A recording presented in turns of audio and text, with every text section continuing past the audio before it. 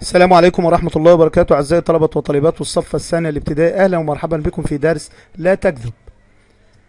أولا نتعرف على قراءة الدرس ونقرأه قراءة جهرية معبرة.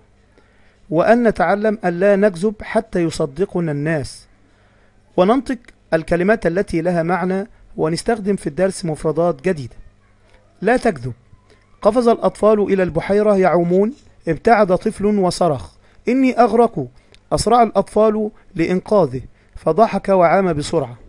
كان في أطفال بي في البحيرة ولكن من ضمن الأطفال دي أحبابي طفل ابتعد عنهم وصرخ وقال إني أغرق إني أغرق.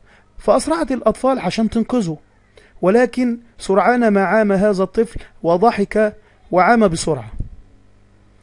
وبعد قليل أحس الطفل بالغرق صرخ أنقذوني! فلم يصدقه أحد. رآه أحد الصيادين فأنقذه وقال له لا تكذب حتى يصدقك الناس. في المرة الثانية برضو قال أنقذوني! أنقذوني! ولكن لم يصدقوه لأنه كذب في المرة الأولى. آه فلما رآه أحد الصيادين فأنقذه وقال له لا تكذب حتى يصدقك الناس. والنبي صلى الله عليه وسلم قال إن إحنا لابد إن إحنا نتحرى الصدق وما نكونش كذابين عشان ما نكتبش عند الله كذابين.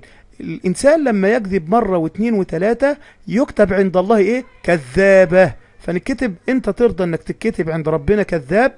لذلك لا تكذب حتى يصدقك الناس. معاني المفردات قفز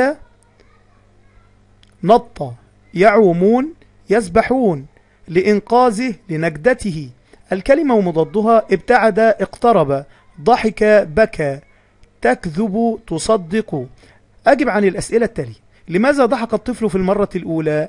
لأن أسرع الأطفال لإنقاذه. ماذا نتعلم من هذا الدرس؟ نتعلم ألا نكذب حتى يصدقنا الناس. أكمل بالحروف المناسبة س أو صاد. نقط طور يبقى إيه؟ ساطور نعم. ره يه ته يبقى نعم. قرية ها ته طه يبقى طابور. ضع علامة صح أمام الإجابة الصحيحة. ألف كلمة فأنقذوه. في جملة رآه أحد الصيادين فأنقذوه. توحي هذه الجملة بإيه يا أولاد؟ الصدق ولا الشجاعة؟ نعم توحي بالصدق. رتب كلمات كل سطر. أحس بالغرق الطفل.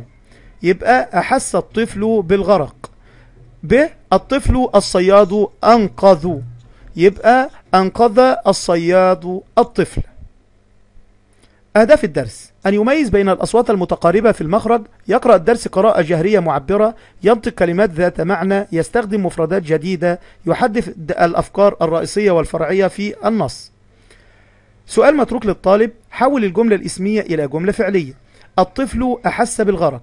الطفل قفز إلى البحيرة. وبكده نكون قد انتهينا من درسنا. على أمل بلقاء إن قدر لنا البقاء واللقاء مع نفهم نتعلم ببساطة إن شاء الله.